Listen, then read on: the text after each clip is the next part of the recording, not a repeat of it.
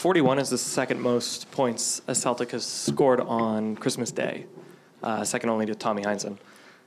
Do you think about your place in Celtics history, either in the moment or in your downtime, and what did it feel like playing, you know, for the Celtics on Christmas?